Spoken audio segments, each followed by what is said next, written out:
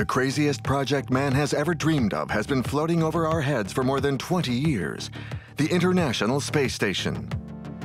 There's nothing else like it in human history. The size of a football field, the ISS is the biggest man made object ever created. It travels above us at a speed of 28,000 kilometers an hour. It's a unique construction, a permanent fixture in space. How were engineers and astronauts able to put together this 400 ton machine?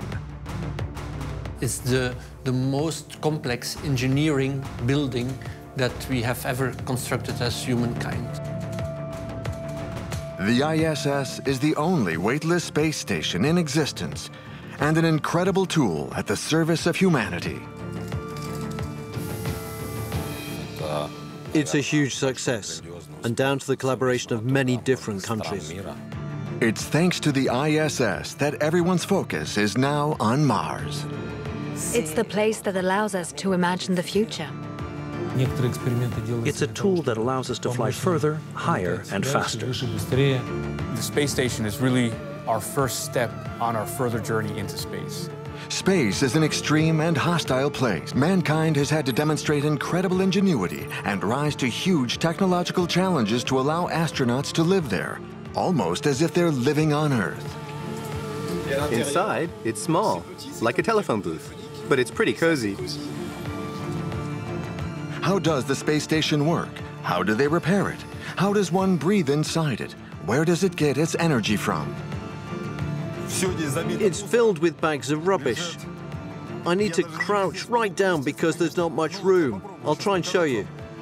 We are going to take a trip backstage on board the International Space Station on a guided tour in the company of those who know it best, the astronauts. If, if I had the chance to go tomorrow, I would go back tomorrow. It's such an incredible place.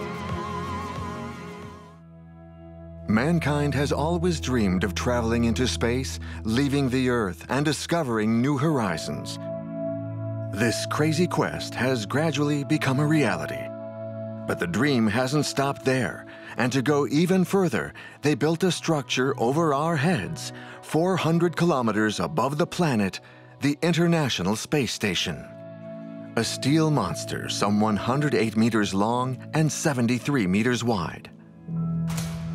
It required the expertise of American, Russian, European, Canadian, and Japanese space agencies to put this incredible scientific laboratory into orbit. Like an enormous construction set, each piece was designed and constructed on Earth before being transported into space. It took 10 years to assemble in a challenge that went way beyond international borders. For almost 20 years now, 200 men and women from different countries have dedicated themselves in turn to live and work on board the International Space Station.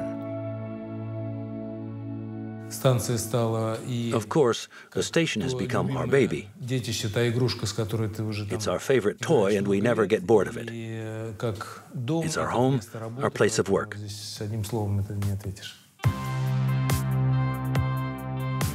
Reaching the space station is no simple feat. It involves a long voyage on Russian Soyuz spacecraft. After a 48-hour flight, the Soyuz is within 400 meters of the ISS. The first thing that you see is a, is a bright dot, like a star, that is showing up somewhere on the, on the display. As you get closer and closer, you see, see a little bit this dot growing, then you see the first, the wings, the big solar wings of the, of the space station. Like explorers discovering a new world, each time they approach the station, even the most experienced astronauts can but marvel at the spectacle. It's really huge. You've seen it so often in photos, images, or video, but you can't believe that human beings were capable of constructing this huge station in orbit in space.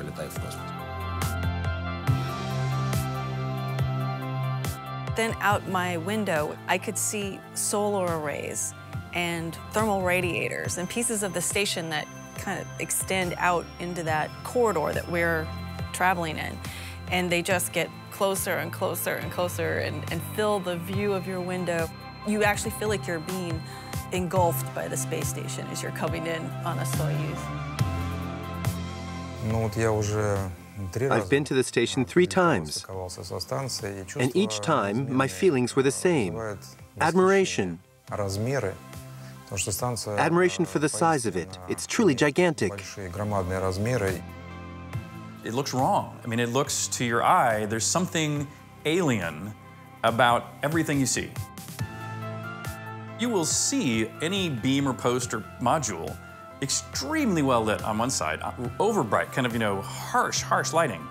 And then the right as you get roll around to the side that is not directly facing the sun, it is black Range is three. Uh, the roll has stabilized. There is no roll now.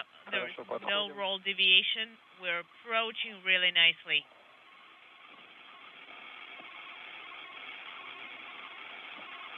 Есть касание. Contact confirmed. And probe retraction confirmed. Docking confirmed. Textbook arrival for the brand new Soyuz MS-01 spacecraft. Docking confirmed at 11:06 p.m. Central Time. You're going from this incredibly cramped uh, Soyuz through a hatch system, which is actually even more cramped. Once you open that, you still have the two hatches, uh, the ISS hatch and the Soyuz hatch, to get past. So you're actually moving through an even tighter little space, uh, and you know, sort of being pulled in by your crewmates. You're coming through a birthing canal and being aided by the doctors on the other side to pull you across uh, and into the main volume of the space station. And uh, the hatch now opening and when you leave the little ship and enter the huge station, you're overcome with emotion. You discover this huge space. You recognize some faces. It's really moving. Of course, it's overwhelming.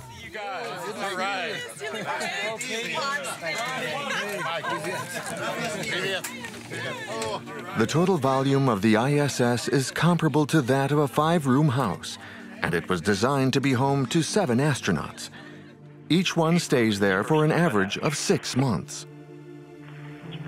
From their very first moments on board, and despite their years of training, new arrivals are often disconcerted because they have to learn to live in zero gravity, where there is no up or down. You're in three dimensions, and you're using a module that is up there, on the left, on the right, below, in front, behind. It's a bit complicated to get your bearings in the beginning. Your brain sometimes processes the image completely different because the fluid in your inner ear is sending a completely different message to your brain. You're looking down the tunnel, and it's almost like you're looking up a building. You know what I mean? I made a right turn into the service module, and then suddenly I stopped because suddenly I couldn't recognize where I was. And I thought to myself, I can't believe I'm already lost on board the International Space Station, especially because I've spent hundreds of hours training in a model of it here on the ground. But um, luckily, one of the more experienced astronauts could see that I looked a little bit confused, and he told me it's because you're standing on the ceiling. As soon as I flipped over and got my feet back on the floor again, it was as if everything fell into place and I could suddenly recognize where I was. The astronauts find their way around thanks to a marking system that shows them up and down. The absence of gravity also gives them a 360 degree working environment.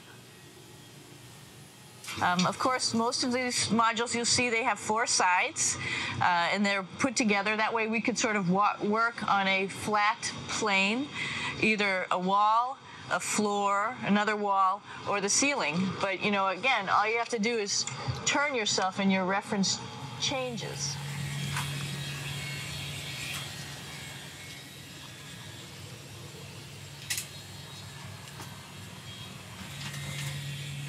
This almost complete lack of gravity presents its own problems for the human body.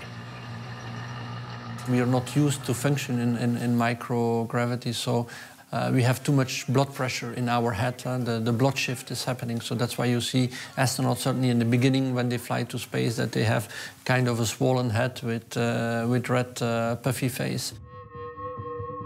The astronauts' faces look a little puffy because their blood flows differently. The blood doesn't flow as well to the lower part of the body and accumulates in the chest and head. The veins around the neck and face swell up. So naturally the change of blood flow presents some problems. So you actually feel that inside your head. You feel this increase in intracranial pressure, and it causes some stuffiness in the nose as well. Sometimes a bit of uh, a bit of a dull headache as well. But uh, and that can actually last for a, a few weeks um, as you as your body ad adapts and adjusts to microgravity.